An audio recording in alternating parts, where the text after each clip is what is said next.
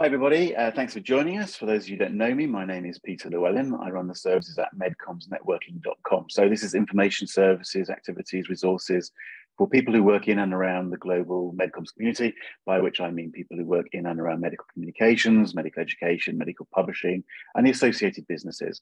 Uh, you'll find lots of information at medcommsnetworking.com, and specifically, for instance, lots of video content at Network Pharma TV, or for instance, particularly if you're interested in joining Medcomms and, and starting work as a medical writer, or account manager, go and have a look at firstmedcommsjob.com, where there's lots and lots of information, careers guides, webinars, and so on.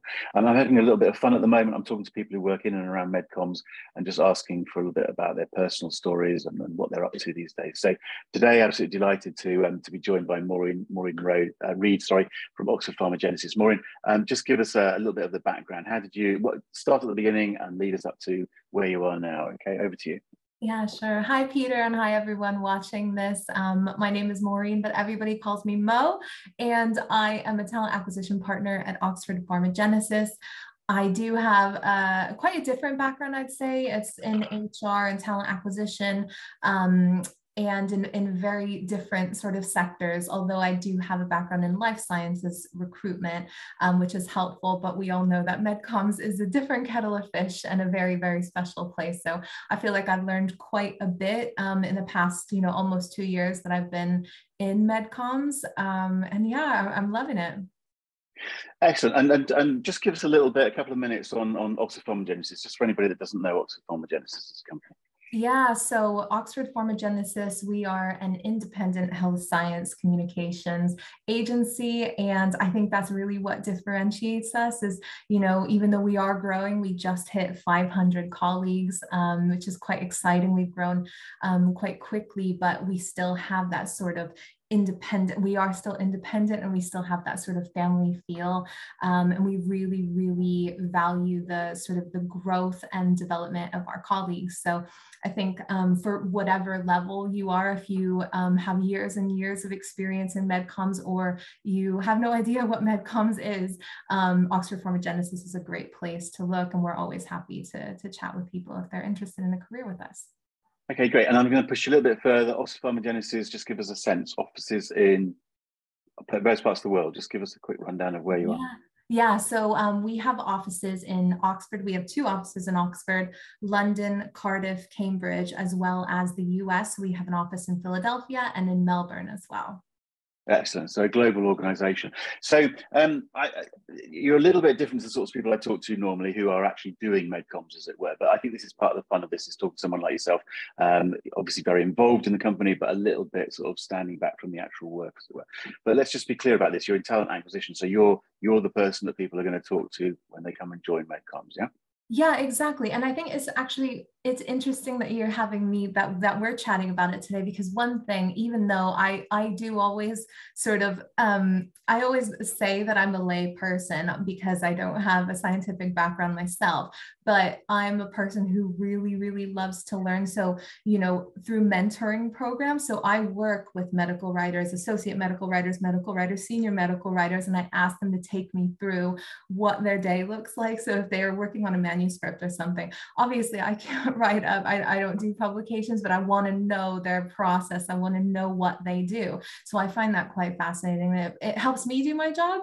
Um, but yeah, I would say, I guess, for, for me, who I am, I guess I'm the sort of gatekeeper, if you will, or the rest of talent acquisition, because we're the ones that you talk to in a first, you know, as a first person that you're talking to in the organization to learn a little bit more um, or to learn about medcomms as an industry as well.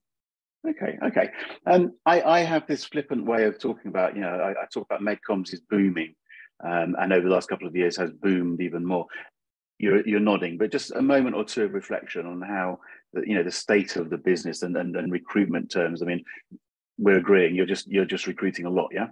Yeah, and I think it's just across the board. And I think more so than any specific agency, it's the industry that's just mm. getting a bit more awareness, I think. And that's going all the way down to sort of, you know, um, academic sort of level. So even, um, you know, we're doing quite a few things like awareness of medcomms, like even at um, sort of, I think you call it primary school in the UK, right. but like sort of elementary school. Crikey, that's a that's early. it is, it is. But just to just say there are you know there are opportunities in science you know so even like that but then at university level as well the awareness hasn't really been there for years and years and years. It's obviously you've done so much and i can't even tell you how many times i point people in the direction of first medcomms jobs or network pharma but i think now that the industry is getting a little more light on it um, it's just it's going to help with recruitment it's going to help with growth for for all agencies really Absolutely. Um, and again, um, you t- I think you said, um, correct me if I'm wrong, but you've been at Oxford Pharma Genesis about two years. So, so yeah. So we're talking in August 2022. So, you know, a couple of years of the pandemic. You, your experience has mostly been the pandemic. Yeah. Um, again, just a few reflections. I'm just intrigued about how, and, and from your point of view, working in a company like Oxford Pharma Genesis during the pandemic, so on online interviewing, onboarding, and so on. Just talk a little bit about how you found all that and how the candidates have found that experience. Yeah, I think really in general, and it's not even down to the industry. I think just altogether flexible working has been such a topic of conversation and i think we were almost kind of forced into it with the mm. pandemic um, whether that's a good thing or a bad thing but i think you know companies were kind of forced in that direction for us you know it actually ended up working really well we're, we're very flexible in terms of even you know um, interviews and things like that um, a lot of times they happen virtually it's just so much easier to just get on a quick teams call rather than you know having to drive across the country sometimes for an interview but that being said um, I did set up a couple interviews this week for in like face-to-face interviews. Right. Um, right. Both teams were quite excited about. So I think it's good. it's like it, you know, being flexible. I think um, is nice because that FaceTime when you see somebody in person for the first time, like, oh, I didn't know you were that tall. It's you know, or you know, it's it's it's nice to be able to to see someone in person. Sometimes. Just just on that note, then. Um, uh, whose choice is that? Are you offering the candidate the choice to come in or not, or is it as simple as that? Yeah, it tends to be actually. It depends on a lot of factors, but you know, because we're open, obviously most of our at Oxford Pharmagenesis, most of our offices are are um, down south in the UK. Um, that doesn't mean that we don't consider candidates who are up in the north. Um, so you know that's it's it's really down to sort of the candidate how easy it is to come in. But of course, if if someone's looking to relocate and things like that, we're very flexible for that too. Okay, and, and touching on that, and just to emphasize the point, you have got people working all over the country. I mean, we're talking in the UK. Um, I know you're global, but let's just stick to the UK for a moment. You have literally got people working all over the UK now, and presumably some of them don't come in the office very much at all. Yeah, so um, yeah, we have quite a few people kind of around the UK, also in the US, just spaced out quite a lot in different time zones and everything. Um, we do have a little hub actually in Edinburgh um, because we have a little hub of Scottish uh, sort of writers, not all Scottish, but they're in that and they get together on occasion, um, like, you know, once a month. So that's actually quite exciting. Um, but yeah, yeah, all over the place. Okay, okay, and and uh, again, slightly simplistic question, but um, you know, we, we've gone down a trajectory, you know, flexible working, remote, and so on. Do you see that just being the way it's going to be now, or do you see people ending up being pulled back into an office? I think uh, that's a really good question, and I think it can go. I, I think honestly, I think it really depends on on what works best for the team, for the individual, because I think there is so much value in actually being next to somebody. So, for example, for an associate medical writer who's just coming into medcomms, they're going to learn so much more kind of through osmosis by sitting next to somebody yeah. rather than on a Teams call because you're not on the Teams call for you know for the whole day. Um, so I think there's value in both really, but being flexible to to either side. I mean, personally, for me, I'm fully remote. I can do my job right, yeah. pretty much from anywhere in the world. But I think when you are you know for a medical writer, for example, or or an account um, account executive for those types of, of colleagues who've just joined us. I think there is a lot of value in, in being in the office sometimes. So I think it's a little of both.